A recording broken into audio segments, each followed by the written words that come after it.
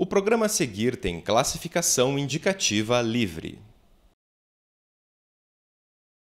Ela é definida como a arte e a ciência de organizar os espaços para toda e qualquer atividade do ser humano. Estamos falando da arquitetura e urbanismo, o tema do nosso vocação de hoje. Seja bem-vindo!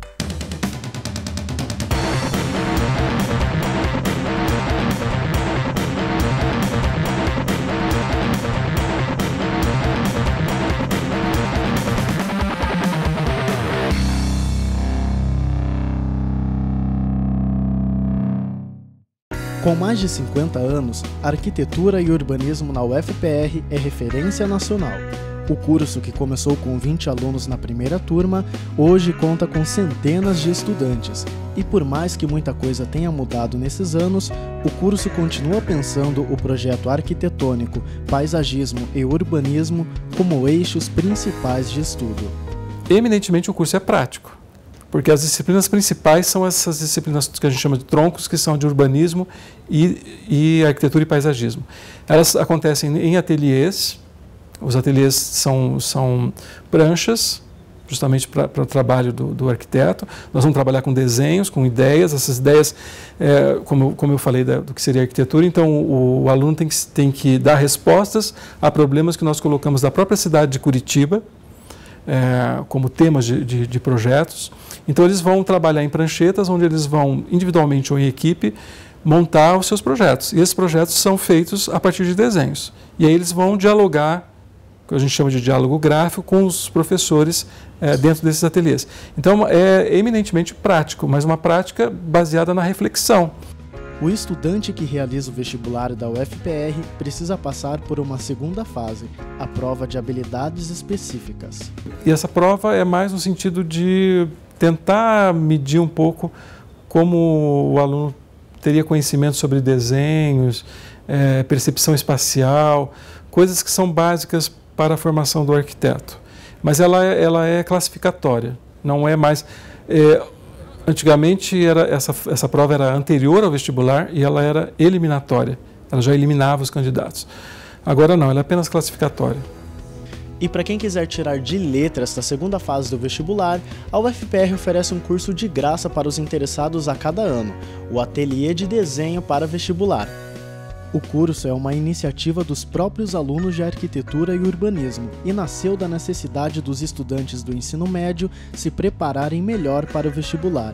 Hoje, o ateliê de desenho para vestibular se tornou um dos projetos de extensão do curso. Os nossos alunos aqui de arquitetura preparam as aulas, que na verdade não são só alunos de arquitetura, são alunos de arquitetura, design e artes. Né? Eles trabalham em conjunto porque os fundamentos dessas três provas são semelhantes.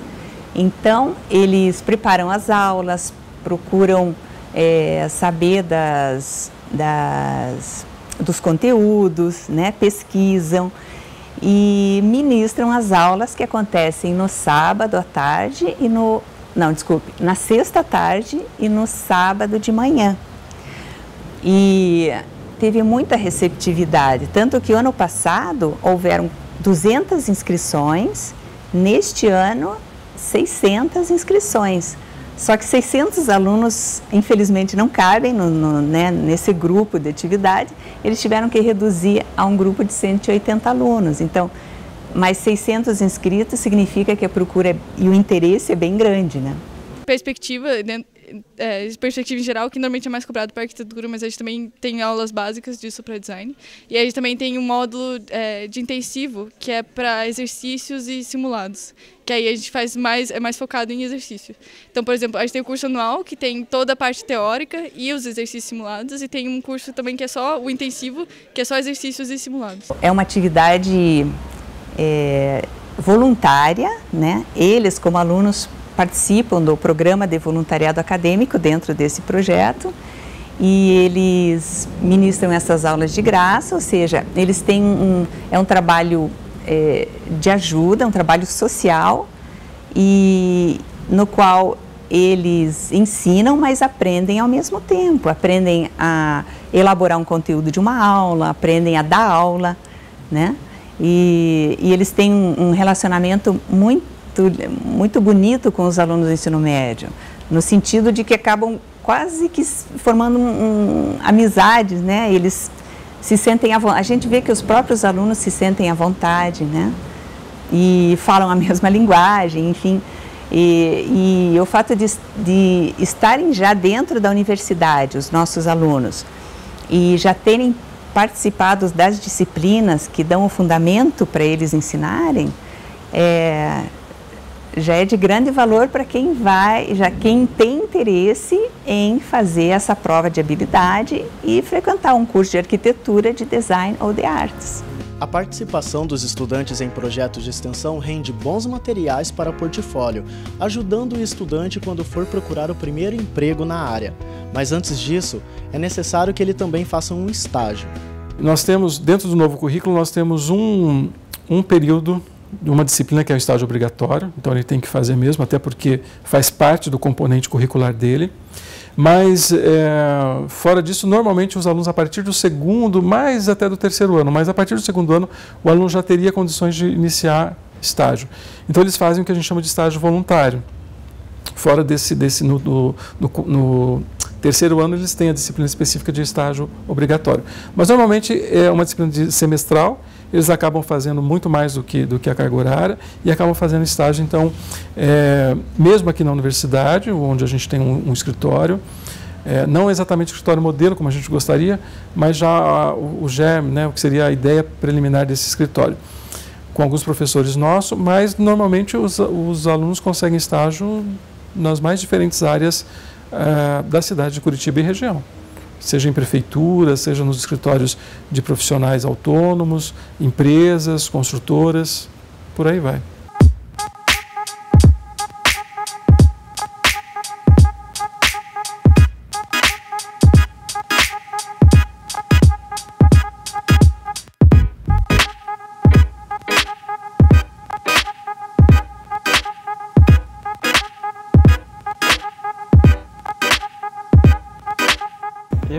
Arquitetura porque eu gosto desde criança da, dos espaços em si, isso me influencia, e por causa do Lego, eu acho. Eu me apaixonei por arquitetura e urbanismo um dia que foi bem aleatório, assim, tipo, eu tava andando de ônibus e eu falei, nossa, imagina que legal, tipo, você projetar o sistema de transporte público de Curitiba. Eu fui na feira de profissões da UFPR, é, os que eu mais gostei foi design, civil e arquitetura. Como a arquitetura era alguma coisa entre os dois, eu acabei indo assim, mas meio sem saber o que era e comecei a entender melhor só depois que entrei dentro do curso. Aí eu parei pra pensar, tipo, nossa, imagina que legal projetar cidades, imagina que legal projetar uma casa.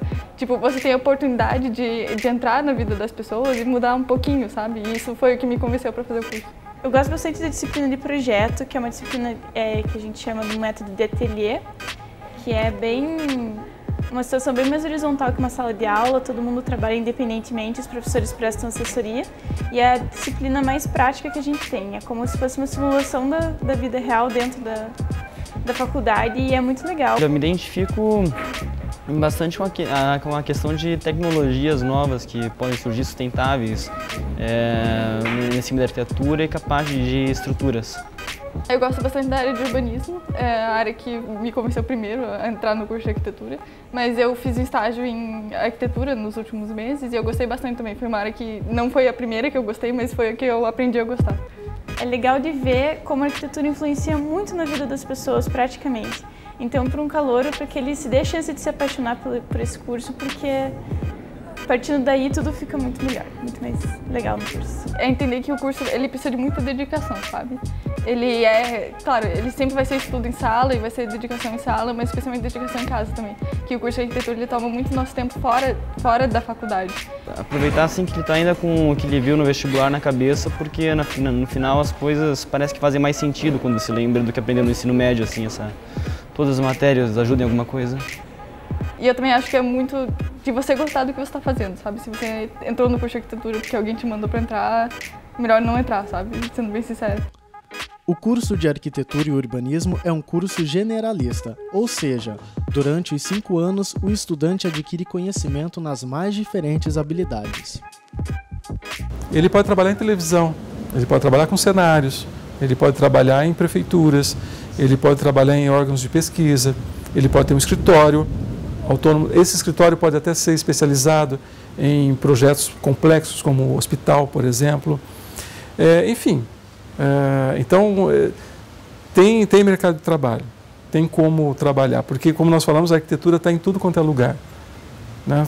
Quando a gente fala da, da, da, ciência lá e da arte de organizar o espaço do, do homem, é só você imaginar qualquer profissão, qualquer outra profissão, que ela acontece em um espaço. Então, seja um espaço interno, seja um espaço externo, o arquiteto é quem vai organizar é, né, e gerenciar o, o que seria a organização e a construção desse espaço.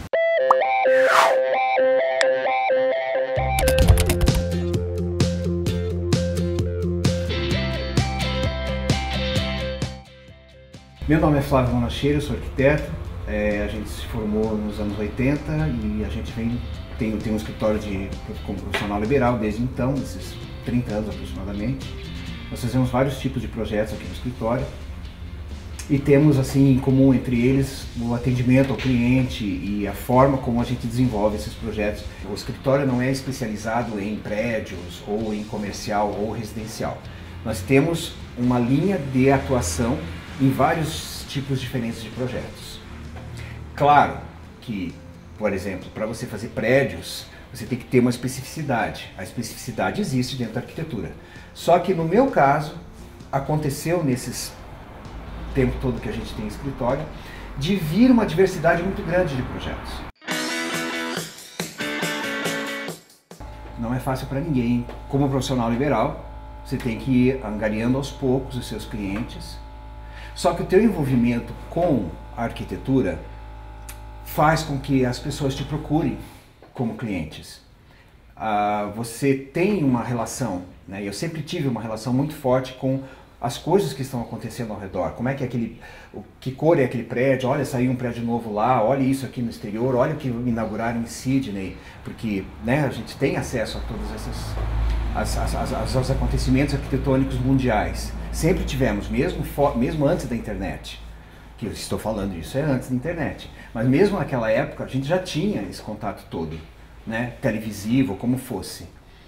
Então, com o envolvimento que você tem com a tua profissão nesse sentido, de estar ligado com o que está acontecendo e com o que as pessoas estão fazendo e o que seria bom para aquela para tal pessoa e tal, e esse teu essa tua energia e esse teu envolvimento com com, com, com a arquitetura em si atrai as pessoas.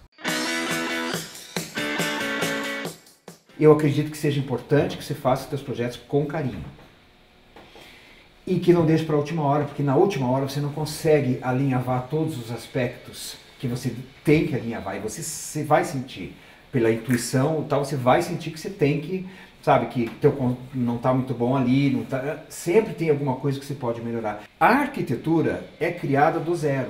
Não existe aquilo, mesmo que seja uma reforma, mesmo que a casa já exista. Vamos voltar ao exemplo mais simples, uma reforma residencial. A casa já existe. Como eu falei anteriormente, você tem que tirar algumas paredes para poder colocar outras e transformar aquele espaço numa, na casa do, que o teu cliente sonha. Mesmo nessa reforma, você sai do zero. Mesmo levando em conta que o imóvel já existe. Quando você sai do zero mesmo, que te dá um terreno para você fazer uma casa, também. Então, como você está criando, criando uma coisa a partir de, que não existia anteriormente, é a primeira, é o protótipo, é diferente de desenho industrial. Por exemplo, esse copo aqui ele foi desenvolvido antes de ser produzido industrialmente. É feito um protótipo dele, aumenta, diminui, gastou muito aço, a tampa abre muito com muita dificuldade, enfim. E daí, a partir do protótipo aprovado, etc., ele é produzido industrialmente. Na arquitetura, não. Você tem direito a fazer um protótipo e ele é o definitivo. Acabou. É aquilo que vai ser feito depois já está feito, está construído, não tem como consertar. Então, como é um protótipo você, e você não, não ergue o teu protótipo para dizer, não, essa casa ficou bacana, então agora vamos construir ela para valer. Não, a gente faz maquete eletrônica hoje, a gente fazia desenho de perspectivas antigamente, tem-se uma ideia muito precisa de como vai ficar a coisa toda construída. Inclusive, a tecnologia existente atual os softwares, a informática como um todo, ajuda muito a gente. Preste atenção nessas informações. O curso de Arquitetura e Urbanismo tem duração de 5 anos e as aulas acontecem no período integral no campus Politécnico.